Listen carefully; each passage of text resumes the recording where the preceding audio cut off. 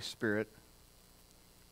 And mixed in there, we've had different things we've been, we've been bringing in, but it's all been dealing with that. And tonight, I'm going to do probably one more, but I'm going to talk a couple things that I want to share that I think are that just been on my heart. One of them is that we need the power of God. And the world needs the power of God. And I need you to hear it like I'm saying it. We need the power of God, but we can't be consumers only. We have got to export the power of God to the world around us. That's one part. the other part that I want to share with you and, and get into just a little bit is the one thing that really moves the miraculous power of God or releases the miraculous power of God is compassion. And tied in with compassion, I think there is just a, a generality of, of talking about honor, of talking about just seeing people in the light of how God sees people, and not seeing people as political or as whatever agenda they carry or as bad and good, but just seeing people the way God sees people. And sometimes that's hard to do, and I think it cuts off a large amount of the flow of God in our life towards other people because of our judgments towards people, our, our perception of people. And we can miss so much that God wants to do through us for people by carrying a wrong perception of them. Sometimes that wrong perception causes us to live in fear of them. Sometimes it causes us to live in just not liking them. Or it even gets to a place where God, uh, go ahead and let fire come down on them. Right? uh, there were a couple disciples that tried to do that.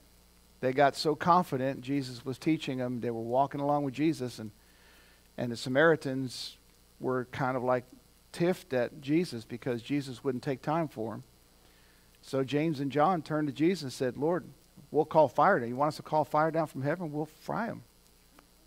Cook them right here at barbecue. And the one thing Jesus said to them, and at least I know in King James it says it this way, and it says it in the translation, Spanish translation but it says you don't know what spirit you're of. Your motivation is coming from the wrong spirit. And it's one of the things that we have got to really be careful of as we move through our walk with God is checking, letting God examine our motivations in the things that we do. And uh, to me, it's a big deal, and knowing what spirit you're of, right?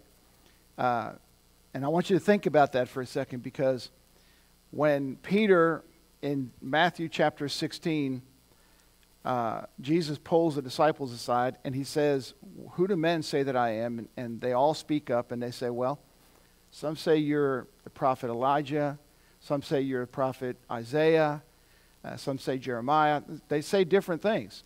And then Jesus gets more pointed and he says, Who do you say that I am? You've been walking with me for these years now. Who do you say that I am? Who am I to you? And Peter screams out, he says, You're the Christ, the anointed one, the Messiah. You're the Christ, the Son of God. And Jesus says, Flesh and blood hasn't revealed that to you, but my Father in heaven. And he goes on to speak about the revelation that just came out of the mouth of Peter. And, and, he, and, he, and he applauds him said, You received this from heaven. This is a revelation. And I'm going to build my church upon that revelation of who I am. Not who people think I am, but who I am. And that's, that's a big deal. But turn right around as you're reading in that scripture. It's in Matthew 16 16. And you go on down a few verses. And I don't know if a week went by. I don't know if a day went by. I don't know if a month went by. Some time may have gone by. We don't know. But it's sandwiched together in the Word of God, where in Matthew 16 16, Peter has this tremendous revelation. You know, sometimes your greatest revelations come out of a moment when your mind is not working right. It's like accidentally on purpose, it just slips out. And turn right around a few verses later, and Jesus starts talking to the disciples not only about what they just had a conversation of, but he starts sharing with them and saying, uh, I'm going to die. He starts talking about the cross. He starts talking about what he's going to go through and starts preparing them for what's getting ready to come. And Peter, in all of his boldness and confidence, you see, when you think you're in the right spirit, sometimes you just need to back up for a second and hold off. Peter blurts out and says, No, that's never going to happen. We're not going to let that happen. We will fight and we will kill. And Jesus says, Peter, he doesn't call him Peter, he calls him Satan. Now, you can't get any stronger than that, and you can't get any more direct than that for Jesus to say to Peter, Satan, get behind me. So, was Peter Satan? Was he Satan incarnate? No. But he was moving from the wrong spirit. Now, I'll tell you what that shows me. And it's not to scare you, but it is to put you in a place of understanding that there's many times we need to check the motivation, check the heart, because we can operate out of the wrong spirit just because we're in the wrong place. What I want you, what I want you to realize is we may think we're always hearing from God, and then there's that time that we're just not in the right spirit. And we're doing it the wrong way, the wrong motivation, coming from the wrong place, coming with the wrong, the wrong intent. It's one of the things, especially when I talk about the prophetic, is something I had to learn and continue to guard with all my heart. I never want to prophesy to people out of the wrong motive, the wrong heart. Because prophecy, especially what I do, I, I can speak for myself, uh, giving personal prophecy where God has used me tremendously all over the world, can be very manipulative towards people. It can be very controlling, manipulative, because there is, there is amount of, you're bringing God to them and you're saying things to them and you can manipulate things very easily. And I've seen it happen. And it's what scares me about it uh, many times and why I draw back many times from giving the full intent of what God wants to do, sometimes because I err on the side of not doing it rather than making a mistake. And I've gone back and forth, and I'm getting more into the balanced area uh, more than ever in my life. But I, I, don't know how many times, you know, like guys in Mexico, the leaders, we're going to be with them this next week, but they would say to me, said, Why did you stop? And I'd say, Well, Holy Spirit left the room, and, which was a lie. So I had to repent of that. Holy Spirit doesn't leave the room. I just didn't, I was afraid to go further and I wouldn't face my fear. I was afraid to go further. I didn't want to miss God. And things like that. So, uh, what I'm trying to say to you, there, there, there are, we've got to watch our heart because there are two different spirits we can operate out of. Even though we can operate out of the Spirit of God. You say, well, that was before the day of Pentecost. That was before Jesus rose from the dead. They were walking with Jesus. They were, salvation had already come. Right? Uh, and I think it, it's not something we can just throw aside and say, well, that wasn't in the era of, era of grace. It was in the era of grace. It was already in that era of grace. Jesus was walking the earth. And, and, and it started at the cross specifically, but I think it started when Jesus started moving. And um, so we got, we got to watch that. You got you to be careful because sometimes you can get very rambunctious. You can get very uh, going and, and feel very strong about something coming from the wrong motive, coming from the wrong spirit. So, on top of that, um, you want to operate out of a place of compassion. And compassion, and I may go ahead and give you some scripture about this. Let's just go ahead and look at Matthew 9. Maybe somebody could read that for me so I don't have to turn to it.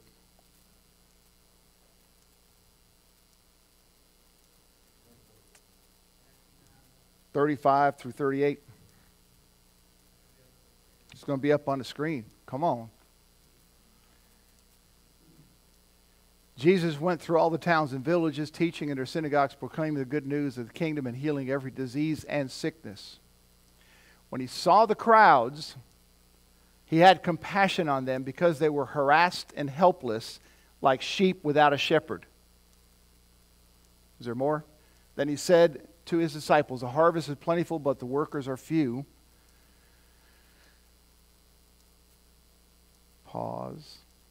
Is that it?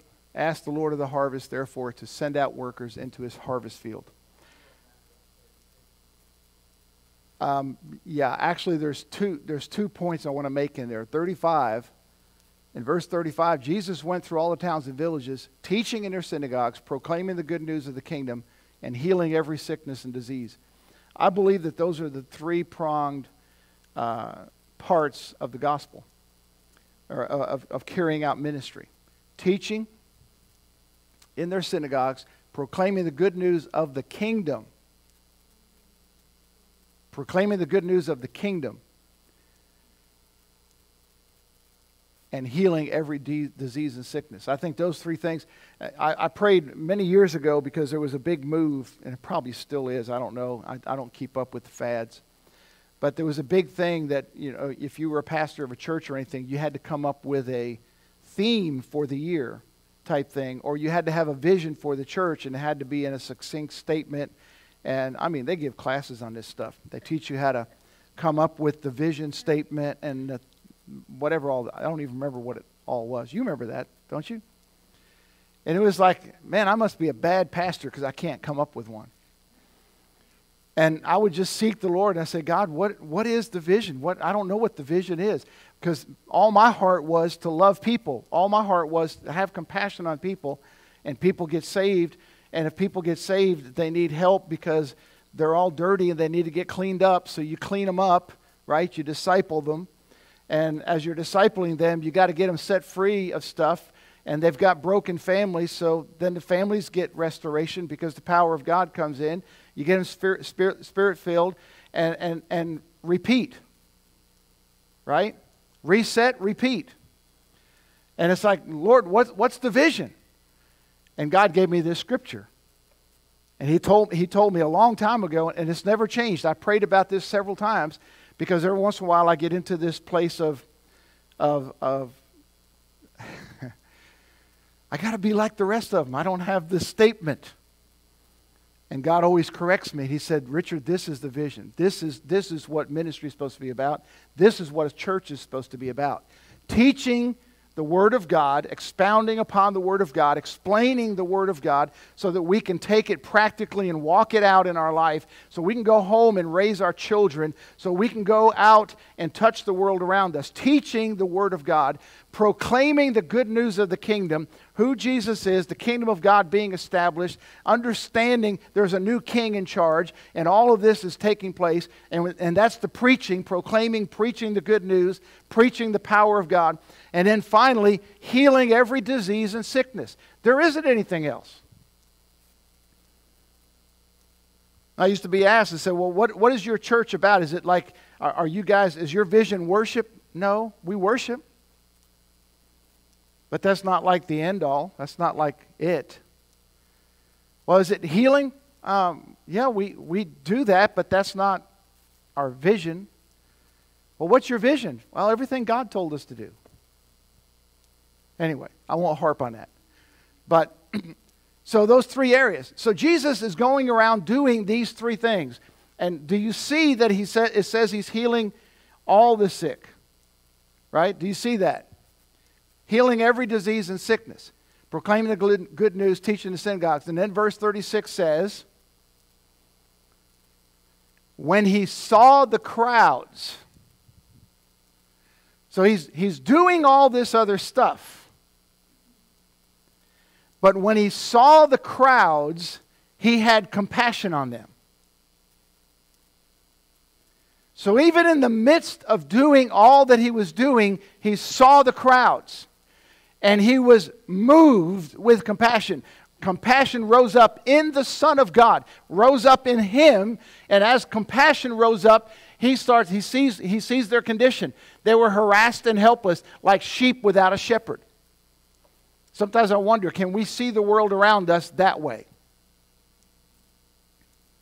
No matter who they are, I don't care where they are in the spectrum. I don't care if they're rich or poor. I don't care if they're, they're the most famous person or the not so famous person. I don't care who they are. Can we see the world around us that way to have compassion that they're harassed and helpless like sheep without a shepherd? I've been around people, uh, we, we've gone different places, and I like, I love to go incognito.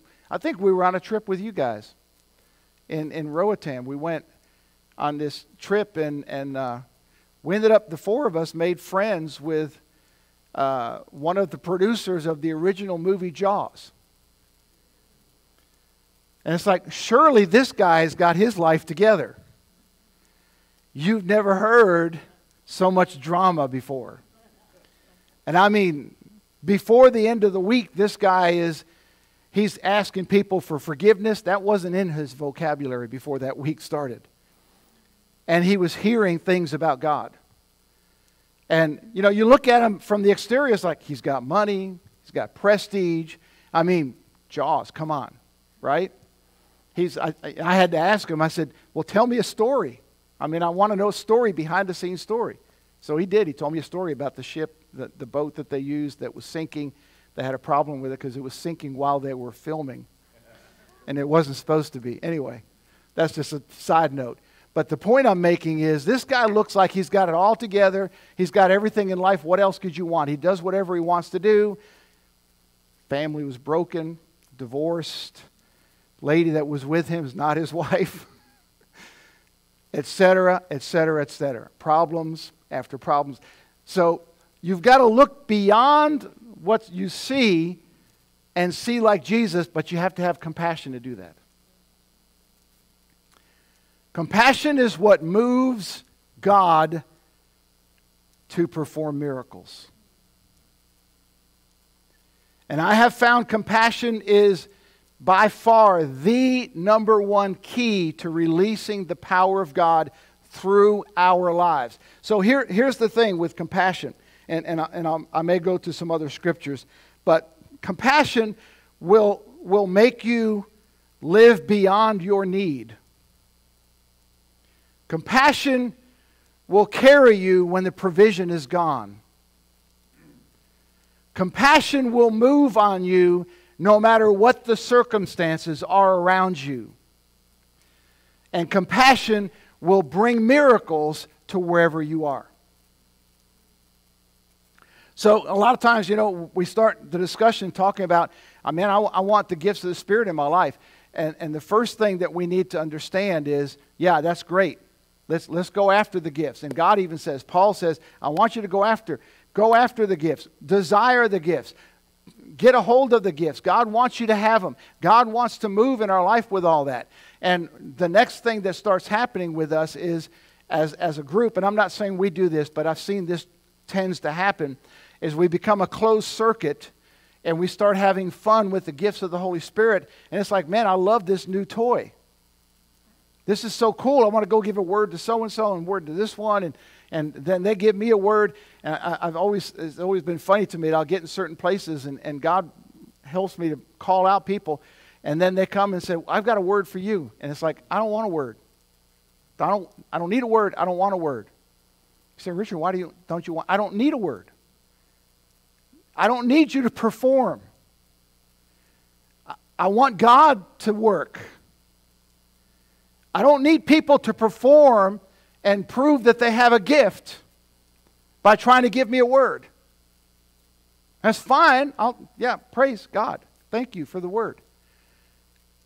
But I don't need the word to do what God's called me to do. I need more of God. That's fun getting a word, but I'm not motivated towards getting a word. Does that make sense? And so a lot of times what happens is we're, we're getting in, and, and it's great to have that atmosphere, and, and we're cultivating that atmosphere here where we can give each other words. So don't take me the wrong way. I want that to happen. But what I'm saying with that is this if that's where it stays forever, then we've missed it all. Because it's got to get to a place where compassion starts motivating us to reach out to other people. And then, even though we don't want it, the gifts show up because they spill out because of compassion. I've been in so many circumstances like, ah, I'm so tired. I don't want to. Don't talk to me. Don't bother me. Don't sit next to me. And that's where they sit. Always. It's like right there. And you've heard, I've told stories. I mean, I've got a bunch of them. I mean, I get them all mixed up because I've got so many of them. I'm traveling and I'm tired. I understand where Jesus was at the well. I, I, just exhausted. I want to, a lot of times I would take my Bible on bus rides because bus rides were usually three hours or more, and sometimes it could be four or five if there was an accident. And uh, I'd take my Bible, and I figure opening my Bible, people will leave me alone. And it worked until it didn't work. And then it was like this lady sits next to me, and God told me, said, I want you to give her a word. I want you to speak into her life. It wasn't even about giving her a prophecy, it was about speaking in her life. And, and we're in a bus station, thousands of people, hundreds of buses going in and out early morning, and people line up to get on the bus, and I see this lady, and Holy Spirit says, I want you to speak to her. And I said, God, that ain't going to happen. She's a woman, and I was very careful about that. So I didn't approach strange women, especially. She was gorgeous, so I'm very careful about that. It's like, nope, not doing it, not going that way. And uh, she's going to get on another bus anyway, so I'm free. I don't have to worry about it. Not going to happen. Sorry, God, I missed that one, but you got to do more than that. So she gets in the line for the bus I'm getting on. Out of a 100 buses, she gets in my line. So I said, Holy Spirit, I ain't doing it.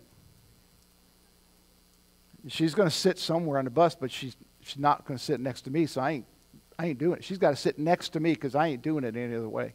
So I get on the bus, and she was, you know, towards the back of the line. My seat stays empty. And uh, she gets on the bus and sits next to me. So I said, God, I know what you're trying to do here, but I ain't talking to her. So I took my Bible out and opened up my Bible. And I figured, this is going to turn her off. I'm going to be off the hook with the Holy Spirit because I told him, I said, unless she initiates, I ain't doing anything. So she initiates, starts wanting to know what I'm reading. And it was just so much like the eunuch on his way to that, that Philip comes alongside and says, Can you explain this to me? And it was like, Oh, okay, God. I guess I'll have compassion now. And I had the compassion, but I was so tired. Does that make sense? God will, God will mess, you, mess with you and, and mess you up in the way because of compassion. And, and, and, I've, and I've tried to love well. I don't always get it right. I, I've been, you know, that angry driver from time to time don't always get it right, you know, get in line and sometimes fighting through the crowds and you know, you go to the grocery store and there's lines and you're trying to get over here and you get in the line that is the slowest line in the entire grocery store. So I haven't always got it right. But I've learned a little bit about loving people. And when you start letting compassion, compassion is a driving force. It's, it's something that, uh, and what I want you to see, in, in, even in this scripture, is that Jesus didn't always operate at that level of compassion. He operated in ministry and did things, but every once in a while, compassion would just take him over, and he would be motivated by compassion in his life, and he would do something extraordinary because of compassion. And I can take you to scripture after scripture after scripture after scripture. Some of the greatest miracles that Jesus did was because compassion rose in his heart. I'm convinced that it is a key that God has given for the release of his power upon the earth. if we as a people can understand and learn more about compassion and being motivated, being moved by compassion, moved by that love, it's, it's, it's, a, it's a selfish, selfless love. It's, it's giving up. Uh, you know, I, I, started looking at this and thinking about it the other day, and I, I, I basically dragged my family all over the world. And if you were to ask me, so, so tell us about all the bad experiences, I have a hard time remembering them. Because compassion motivated me through the bad experiences to see the great, the extraordinary things in the Lord. And I really believe that compassion will wipe away the heartache. I believe it will wipe away the pain of suffering. I believe it wipes away the things that we go through in order to get to that place. Because when compassion motivates us, the power of God flows through us. There is nothing that can replace that. I'm telling you, nothing. I mean, salvation is great. But I, I, I, would almost say the feeling of seeing God or having God use you in that moment towards people is greater. Maybe I could say the emotion of it is greater. I don't know. I don't want to minimize the importance of salvation. But my salvation experience was thank you, Jesus, for saving me. But when I started moving in compassion and, and miracles started place, taking place, it's like I'm just in tears. I'm just broken. I'm just, I'm just like, God, you just did that. I didn't know it really worked. I mean, I know it's in your word, and I know I was supposed to say it, but I didn't know it would work. But I was out of compassion, I couldn't not do it. Out of compassion, I couldn't hold back and, and not take the chance. I couldn't not pray. Out of compassion, I just started doing it. And it's like I, I, just, I just learned at some point if I just love people, God will love them through me. And, and His healing virtue will flow, His power will flow, Words will flow, discernment will flow. But when we start turning this into just a game, or turning it into just, I want to learn, just, I want more from God, which is all, it's a good thing. I want more from God. But when we turn it into that rather than moving out of compassion towards a, lo- a lost world around us, we start missing it in the long run. And I think that's the kind of thing that Paul talks about at one point he said in the book of Corinthians, he said, I don't want to have preached to the whole world and lose my own soul. So you can still do the preaching and do all that stuff. You can still do it all. But when I, I'm saying when compassion's missing, the motives may be wrong. We may be doing it for the wrong reasons. And I don't ever want to do that. I mean, I can, there's a lot better ways I can figure to suffer through life than to do ministry without God.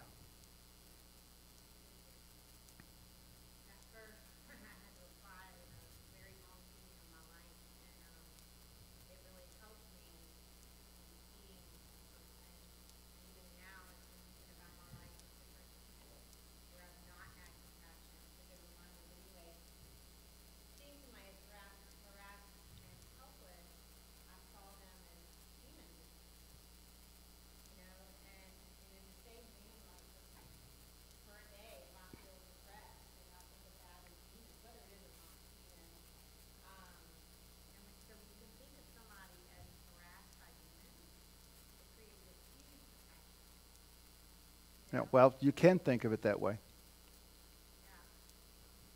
Yeah, very true. So, as we go through, like even the life of Jesus, I can give you, without reading all the scriptures, uh, Jesus was moved by compassion when he fed the 5,000. Tremendous miracle. He was moved with compassion uh, through several times of healing people. Matthew 14, 1. Matthew 20, 30, Mark 1, 41, all healings that took place moved by the compassion of Jesus Christ. He was moved with compassion to free people from de- demons in Mark uh, 5, 19. Raising the dead. Luke 7, verse 11 through 15. And it goes on and on. Uh, the life of Paul in the book of Acts, chapter 17, 16, he, he would, one of the customs that Paul had is he would get acquainted with the areas he would go into because he didn't know them. So he would go there and he'd get acquainted what, what the area was like. And in one place it talks, in, in that place it talks about as he walked around, he saw the idolatry and he was gripped by compassion. Because of all that he saw in a city, and he had to preach. He was waiting on his um, team to get there. He went ahead of the team, kind of like checking out the land, right? And his team stayed behind to take care of some things. And while he was waiting for them to catch up, he couldn't wait because compassion gripped him and he had to preach. He couldn't hold it back. And I find that over and over again, and, I, have said this already, but over and over again, if we start finding the motivation of compassion in our life towards people, it won't, it won't matter if you're tired, it won't matter if you're hungry, it won't matter if you've missed uh, sleep or if you're, you've had a problem. None of that will matter. Not even a flat tire or, or a breakdown will matter because God will have an opportunity for compassion to rise up and touch somebody's life in the midst of that and there may be a miracle of provision for you on top of it. It we, we've got to check the motivation. We've got to check what's going on in our hearts. Does that make sense? And, and, and look at being motivated by compassion. And, and I wanted to kind of talk about that a little bit just to, to let you know how important it is that we don't get caught up in just talking about the beauty of the gifts of the Holy Spirit. They're beautiful and I embrace them big time. That's why I teach on them. That's why I allow them in our church. I want freedom of the Holy Spirit in our body. I want us to learn. And you know, there's, there's, a, there's a baby turning into a toddler, turning into an adolescent, turning into a young adult, turning into an adult among us. And we've got to nurture that. We've got to raise everybody into the giftings of the Holy Spirit. The sooner we can start doing it, the better off we are because I don't want a bunch of old, cranky Christians that have never experienced the power of God for themselves.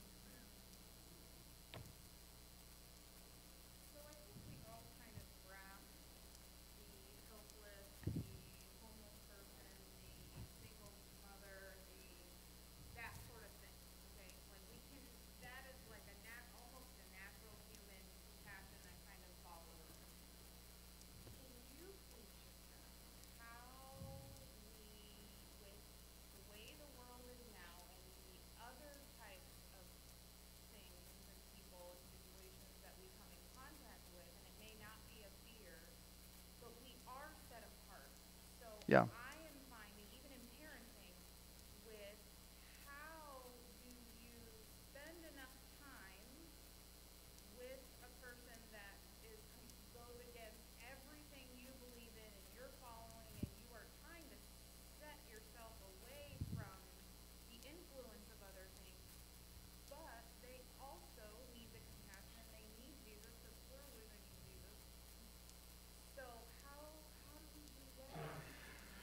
So there's a real uh, practical side of that, and, and one of one of I'll try to just give pieces of it. I don't know if I can give the whole thing, but I'll I'll give some pieces.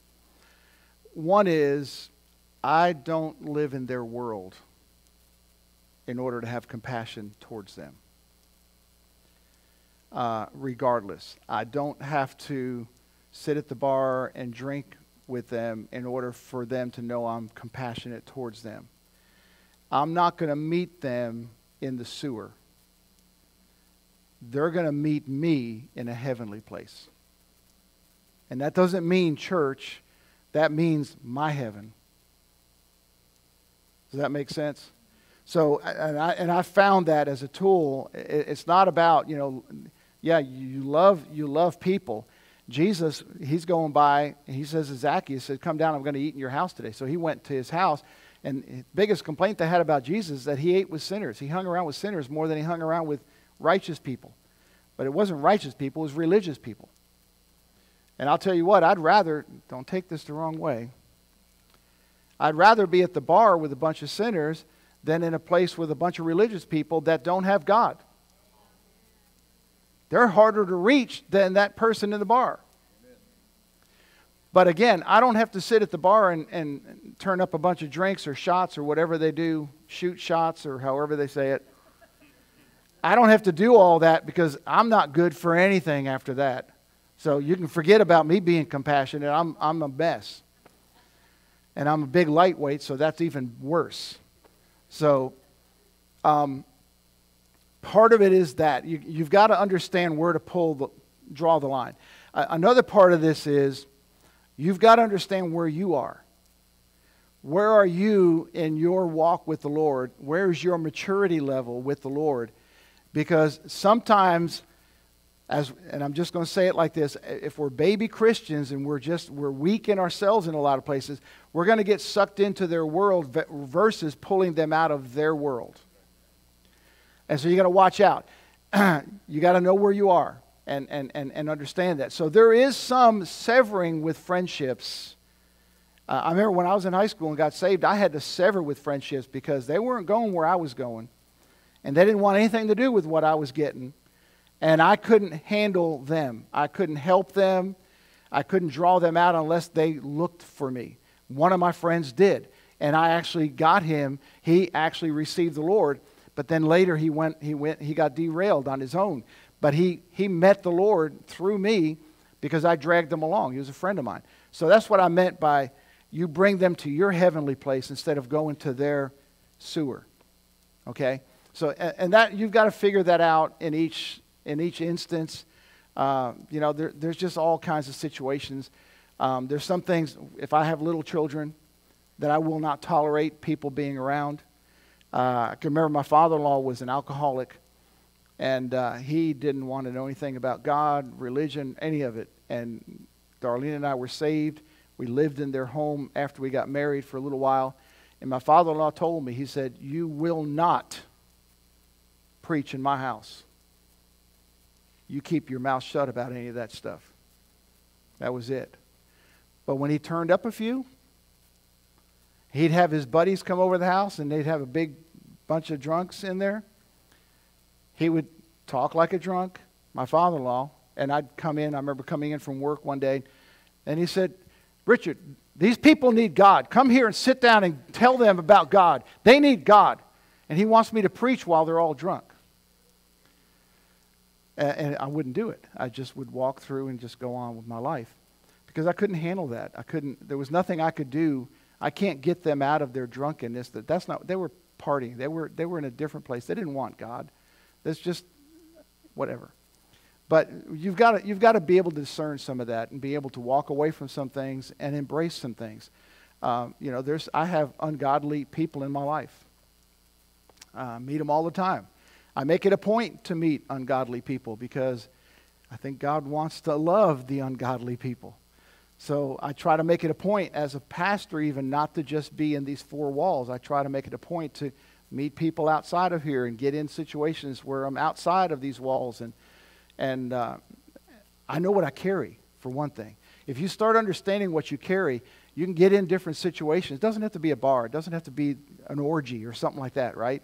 It, it can be other situations. Like i I'll get on a boat because I love diving and spearfishing, and I'll get on a boat with some of the guys. One or two of them are Christians, most of them are not. And hey, I don't care. I'm out there fishing with them or spearfishing, and we're having a good time, and, and God's going to come out of me.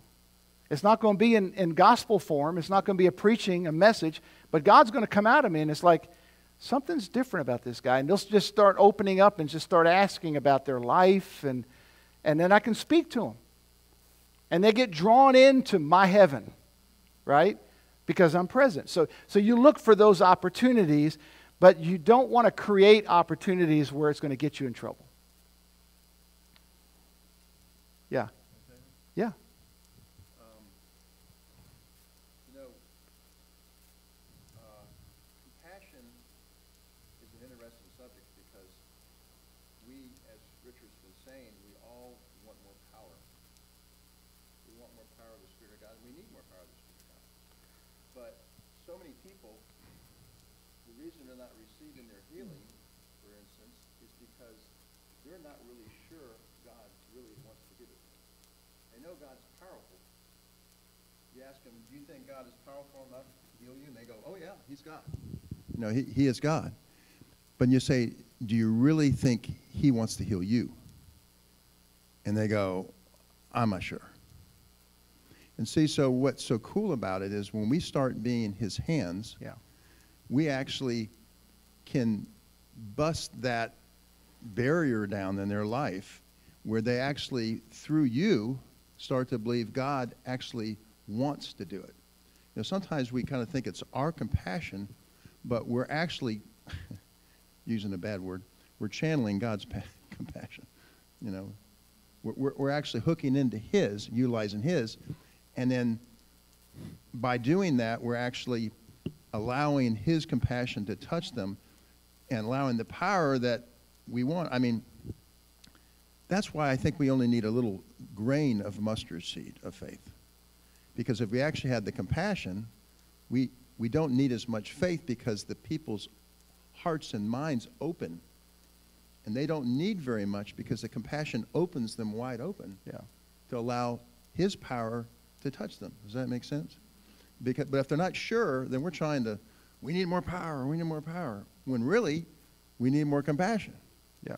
Exactly. Does that, does that make a little Yeah, sense? it does. And uh, along with that, I would say uh, something that I practice is when I get around people, I'm always tuning into the Holy Spirit to show me behind the scenes.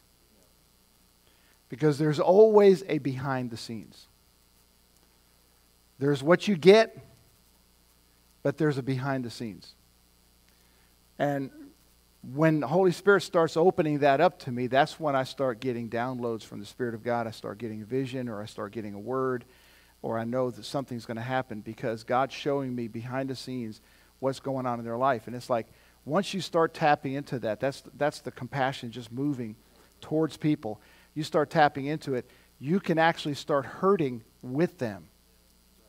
Even though they got a smile on their face, you can start hurting with them. And, and I'll, I'll tell you, some of the greatest miracles I've ever seen through myself, through my, through my life, have been at times that I feel like I'm carrying something and it's just, it's painful on the inside. It's almost like I'm giving birth. I know that's I'm not, I'm not a woman, and my wife would say, stay away from that, but Paul said it, so I think I'm okay. He was, he was in pains of childbirth for churches, for people. And, and, and there, is, there is a burden that I've, I've had on my life. I'll, I'll go along and I'll pray. I'll be in a congregation and I'll start praying for people. And I'll look at somebody and, and the Holy Spirit will just come over me and, and I can feel it, compassion rising up. And I, and I feel like I'm just going to double over in pain because of what I'm feeling for this person.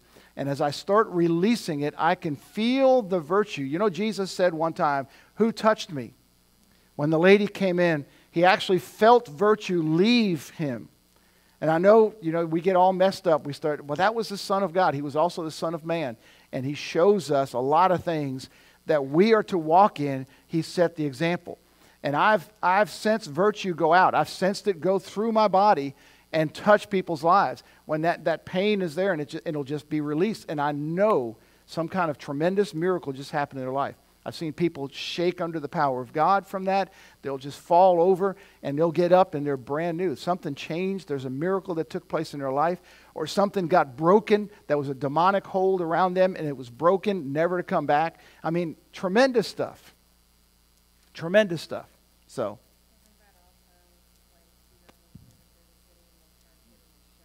Yeah. Yeah. Yeah, they, ju- they, they, tr- they tr- tried to get to the shadow and they got healed just from the shadow. Yeah, it was amazing. So,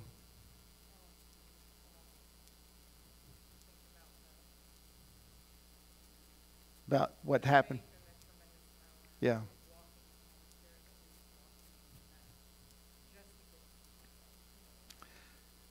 So, yeah, what she's talking about is be able to move in that kind of faith that people were fighting to get in the shadow. So I want to share now as I finish and we'll move into something else what I saw while we were praying. The Lord just opened this up in my spirit as we were praying earlier before the service, and I just I, I held back. I didn't think I was supposed to pray it. I really believe it was a prophetic vision for what's getting ready to happen. And, and, and what I saw was the church coming of age, where it was no longer the church, and I'm not talking about just us as a body, but no longer just us knowing God, but all of a sudden hunger woke up in the city and in the region. And the hunger started breaking things off of people's lives because they started going after what the church had with such a hunger that the power of God was released through the church like I've never seen it. It was just like this earthquake took place. And, and, and I saw this happening here. I believe it's going to happen with us, and I know it's going to happen in this region. There was just, it was like this awakening of people uh, that all of a sudden it was like they were no longer, they couldn't stay in the grave. They couldn't stay in the pit. They couldn't stay in the suffering. They couldn't stay in the dark place. All of a sudden they got a hold of something. Something came to them and they started going after that thing and going after the Lord. And we were the vessels carrying the message of God. And the power of God started just lighting up all over the place. And I didn't feel that as just a little picture that I saw. I didn't feel like that was just a, man, God, I, that's cool to pray. I really felt like it was something shifted in my spirit. I felt like it was something, this is getting ready to be um, colossal. I don't know what other word to use. It's just it's getting ready to be big. It's, it's something, something's, something's astir. As uh, was it Sherlock Holmes? Something's afoot, right? the, the game's afoot. Um, and I just, I could see it and I couldn't get it out of my spirit. And this is one of the ways I test things. When I, when I, you know, you get a lot of pictures, you get a lot of things, and, and a lot of them are good. There's nothing wrong with them. But I don't act on a lot of the pictures that I get because my mind can make pictures. But sometimes I get things that I can't get rid of. I even try to get rid of them. I try to just throw it off, say, oh, that's nothing and it's just there and it, and it starts invading my life in all kinds of ways and this was one of those visions i could just see it just it, it's there and it's not going away. And i keep every time i say it or even now i see it with more clarity that god's going to begin bringing people into a, li- a, a deliverance like never before. The, the, the, the enemy is going to start being broken off of people's lives. Bondages and things are going to be broken off their life. We're going to start seeing a major amount, even more than just creative miracles or, or, or regular healings. We're going to start seeing a major amount of deliverance and, and, and transformation coming in people's lives. There's going to be, it's going to be pronounced. That part's going to be pronounced more than a lot of other areas uh, because God is going to start bringing people into a place of wholeness where there's a restoration of family. There's a restoration of right and wrong in the midst of that there's, there's, there's sons and daughters and parents, and it's going to start coming back together because so much has been lost. And, and it's like the frog in the frying pan. No one realizes how much has been lost, but all of a sudden there's going to be an awakening to what's missing, and they're going to start crying out for what's been missing, and God is going to answer it through his people. We're not getting ready for nothing. That's one of the things that I felt impressed even with this. And I've taught, I've taught this kind of stuff that I'm teaching right now. I've taught this for many, many, probably my whole ministry. Uh, one of the things that, that I've said over and over again is you get filled with the Holy Spirit. You know, you start speaking in tongues, you get filled with the Holy Spirit. It's a sweet experience, it's a beautiful experience. That's for you. That's for you. God's getting you cleaned up, God's getting you fixed. He's getting you in a better place. He, he's getting you to operate more in the Spirit and the things that He has for you. God's growing you up, Holy Spirit in you, doing all that. But there's another aspect it's got to go beyond speaking in tongues and being filled with the Spirit. It's got to be the release of the Holy Spirit that pours out of us and brings it to the world around us. So there, there's, there's two levels. The problem in the church, I'm not saying here, I'm just saying in general, what I have seen for decades. The problem in the church has been we've camped out at the baptism of the Holy Spirit and we haven't moved to return from the wilderness in the power of God. And that's Luke chapter 4, verses 1 through 14. Jesus was filled with the Holy Spirit, led by the Holy Spirit into the wilderness. And when he returned from being tempted after the 40 days, he returned in the power of God. He left in the fullness of the Spirit, he returned in the power of God. We haven't come to the place of returning in the power of God yet. But it's coming. Right. Overcoming.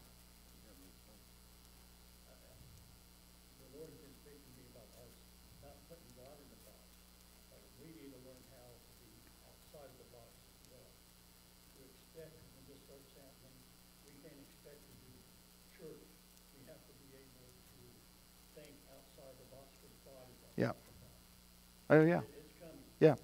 We need this, and I'm a proponent of church, meeting, coming together, being under the anointing. I, I love it. I believe it's an integral part of what we need to do. It builds you up, it helps you, it gets you in family, it gets you some protection, it, et cetera, et cetera. I can go on and on. I could talk for hours. And the importance of gathering as a people. There is something very important about it, whether that's in a small group or in a larger group. And I love more the dynamic that we have than having a thousand, two thousand people where you can't get to know everybody. But I've done both. I've done big church and I've done it as a little church because when you learn how to do family, it doesn't matter how many you are, there's always room at the table for more. There's always room at the table for more. It can be done because I've seen it and I know it can be done. But everything can't be just this. There has to be the going out and coming back, like Jesus sent out the disciples, he sent out the 70. And it says they return and says, Lord, even the demons are subject in your name. And Jesus said, Don't rejoice over that, guys. That's just normal Christianity 101. That's just, that's just supposed to happen. Don't get, don't get all worked up over that. Rejoice in your salvation. But see, we've got to get to that place where we're going out and people are being touched in whatever we're doing, whatever atmosphere we're in. Yeah, there's a lot of crazy in the world. You know that? But God's still bigger than all that. And he that is in me is greater than he that is in the world. Okay? All right, I'm going to shift real quick. You might have more questions, but I got to shift because the Spirit of God's on me. Lee, I got to I to minister to you. I just I'm getting messed up just looking at you. Uh, God's God's been he's he's just taking things and he's pulling out this and pulling out that and pulling out the other. It's like he's taking it all out because the puzzle was put together with the wrong pieces in the wrong places. And he's putting the pieces back into the perfect puzzle inside of you and he's and he's and he's been work you know he's been working on stuff but he's but he is working and you're starting to feel this process. You're starting to feel it coming together. It's starting to tighten up and come into place to where now you're going to start enjoying the fruit the joy the peace of god in a greater way than you than you have in a long time. Because you've been messing with frustration you've been messing with with uh, uh, you've been messing it's just, it's, can I say it? You've been a mess. And listen, this is, I'm telling you, the Holy Spirit is all over you, and, and He's not been leaving you. You've, you've been a mess, and He's not been leaving you. He's there, and He's putting this thing together. And it's going to be so beautiful that you won't, uh, you won't recognize yourself. You're not going to recognize yourself. You're going to stop coming down on Leah. You're going to stop messing with God's daughter. You're going you're to stop telling her all that she's done wrong and all this stuff that she's not gotten right. You're going to, you're going to, all that's coming to an end. You hear me? And I'm, I'm being a little bit bold because I feel really strong about this. There's the power of God's coming on your life, and this is, this is life changing right now. You're, you're going to come into a place where God is going to let you see you the way He sees you, and you're no longer going to see Leah the way she was. She's gone, she's done. And there's a new Leah. And God has made her, and God's made you perfect. God's made you who you're supposed to be. And all you need to do is be. You don't need to struggle anymore. You don't, you don't need to be trying to fight to be something else. You don't need to try to fight to be the perfect mom or be the perfect wife or be the perfect daughter. You just need to be who God's called you to be. And God's power, His virtue is going to start flowing through you, and it is going to be beautiful. I'm, I'm telling you right now that your, literally your countenance is going to change because of what the Spirit of God is doing on you right now and will continue to do in the next months. I know that was good. I know that was good. I just, I, I'm telling you, I feel there's, there are certain times that I just get a real strong impression, and that was, that was one of those that I can't get it off of me. I mean, God, God's working and He's changing something so deep that you're never going to have to suffer there again. It's, I can see it coming out. It's been deep in there, and, and I can see God's just pulling it out. He's just taking it out. And as He's pulling it out, He's sewing up behind it so there's not, nothing's going to be left. It's going to be totally removed. I hope you recorded that.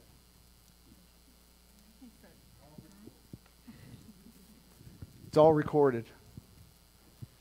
Because you need, you need to live in that word for a little while. And I, I, I'm sorry Justin wasn't here, but I'll pick on him at another time.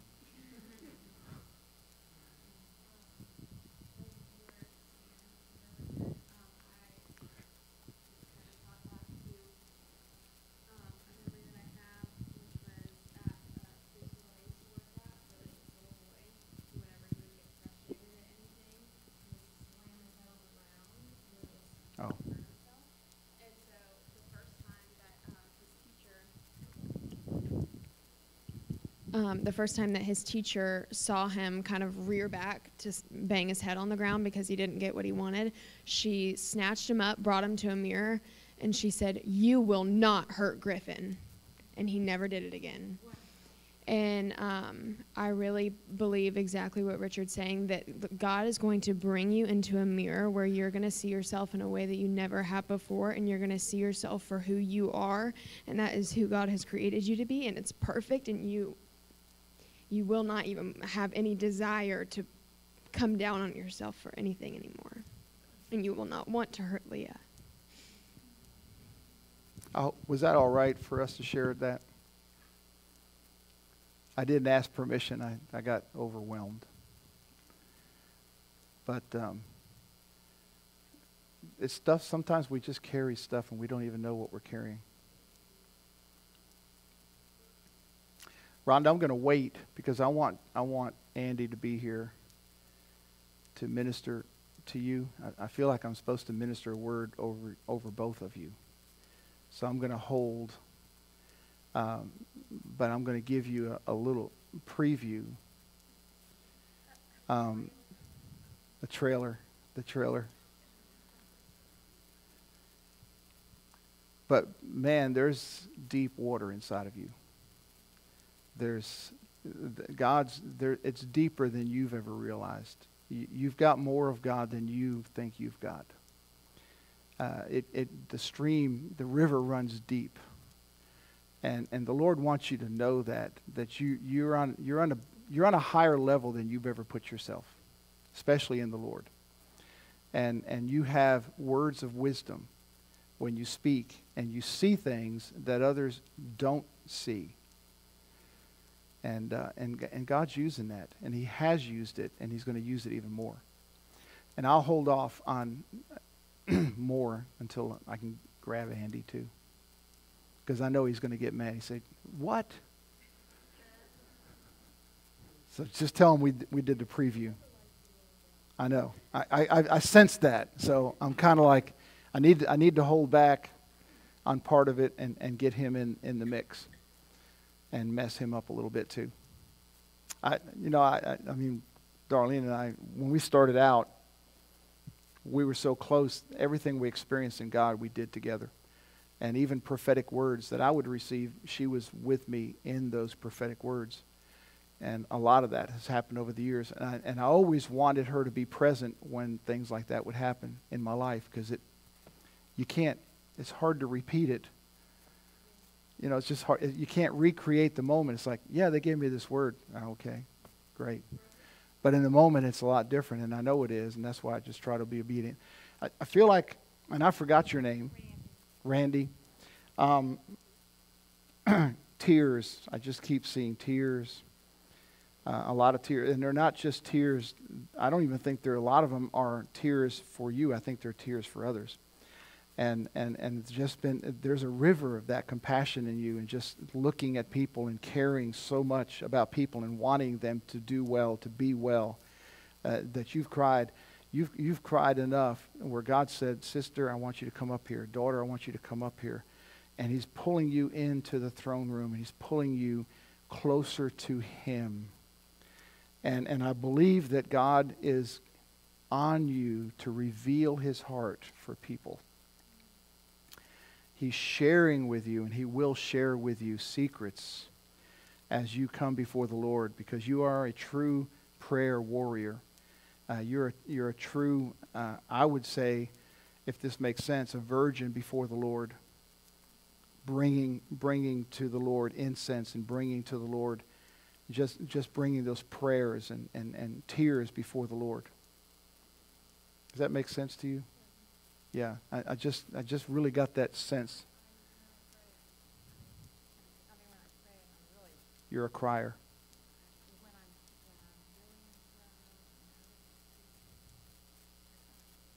Cool.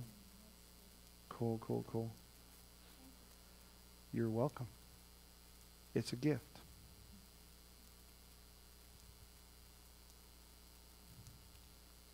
Thank you, Lord.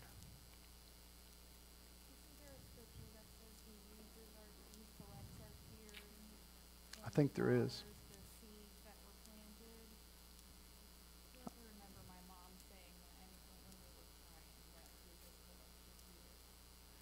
Yeah.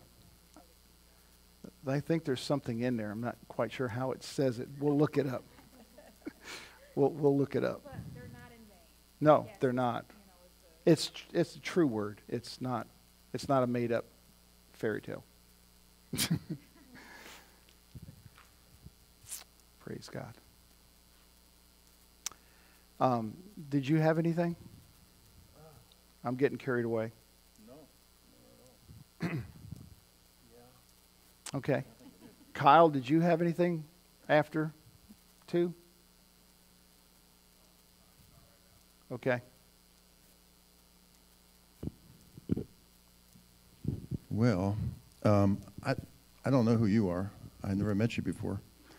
But Give us your name. Mike, okay, hey Mike. Um, the Lord was showing me is that you you look like Newt Gingrich,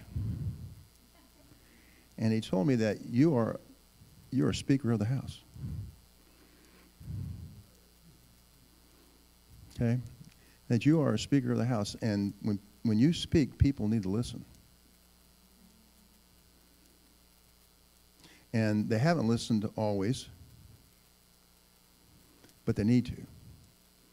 Because you have the mind of the Lord, you have you have the word of the Lord, you have wisdom from him. You see things that a lot of times people don't see. And the Lord is trying to speak through you to others and to situations and to places, departments, people, things but they're not listening to you. But the Lord wants to change that. So he says, don't give up. Don't shy back. That is from him. He is giving you this. You need to move forward. But ask him for wisdom as you go forward. Be sure you're doing it in his time and in his spirit with his compassion. Okay? Because it's hard sometimes to have compassion in, in what you're moving in and what you're dealing with. But he's going to work some things out and to give you the right words and also change some people's minds. Okay, that it's going to be supernatural. Okay, it's, you're going to know it's him uh, when it happens. Okay, Amen. All right. And I don't know your name over right, right there. Um, show me you're, you're a seer. You, you're really sensitive. You're more sensitive in the spirit than you think you are. That you actually um, can feel things very deeply. You can hear him, and he wants to use you in that way. He, he says you have a very special gifting, and you'll be able to see things as well as have dreams and, and function in this a little bit more than you ever have before. And there's something that he's dropped into you, a gifting like that, and he wants you to call out for it. I mean, he wants you to seek it. He wants you to seek him. He wants all of us to seek him. But especially in this area because it's going to be something that is going to be very helpful to a lot of people. And it's going to be really great for you because when it happens, you're going to feel this connection with God that you've never had before. Okay? It's going to be something that's going to be really cool. So I think what's coming up in my spirit is don't shy away from it. Don't think it's not for you. Don't think, well, I don't I never thought about that. Because he, he, he does want to do this. And, and I'm kind of like the little seed. I'm just, he wants to throw a little seed in there. And then all of a sudden, I think you're going to come back somewhere along the line and say, you know, he, I think he's starting to do this in me.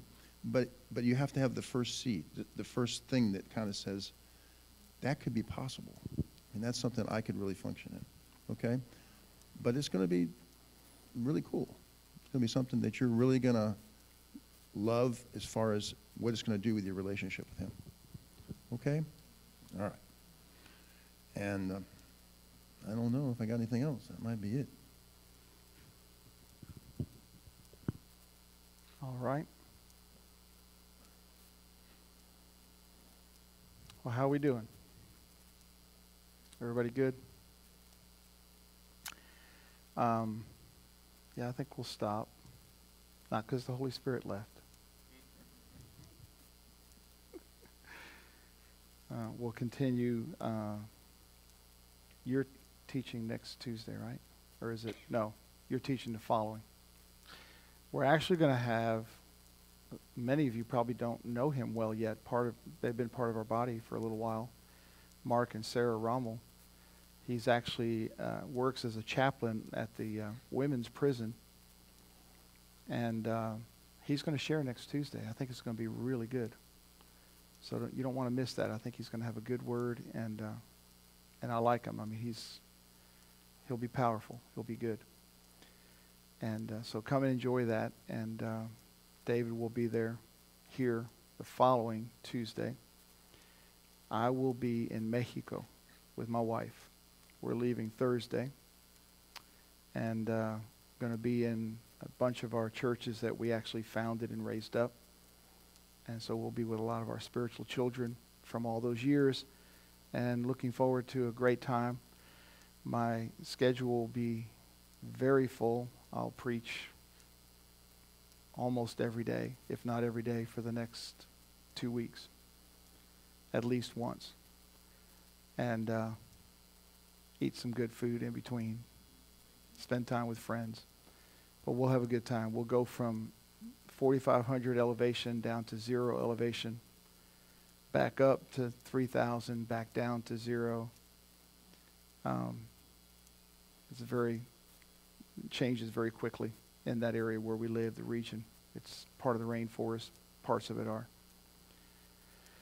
So anyway, just keep us in prayer over the next weeks, and uh, don't miss because I'm not here. It's going to be good. You don't want to miss what God's going to do. There's tremendous things going to happen. Kyle's going to share. Uh, David Hart's is going to share. Different ones have got the, everything going on, and uh, I expect there to be absolutely zero problems in my absence. and it's like, I know God will do that. He'll do that for me. but anyway, um, just be believing God with us. I believe that God's going to move mightily in miracles and uh, a lot of deliverance for people. I believe we'll see a lot of salvation as well. I have high expectation. What God's been showing me is going to happen already. And uh, so I'm really looking forward to our time. And it's the first time we've been out, well, like this for ministry. I went last year once to Mexico to help a pastor that was uh, had a stroke and help his church. And I ended up, I went just to be with him, and I ended up preaching in three churches, and I was only going just to be there. They weren't even meeting in person. It was in the middle of COVID, and I still preached in three different churches. I don't know how this stuff happens. It's just God. So um, just be praying for me because I, I could tell you my schedule, but it changes every day. and uh, we'll, we'll have a good time. I'll share with when we get back. And God bless you. Have a great night. Greet somebody. And uh,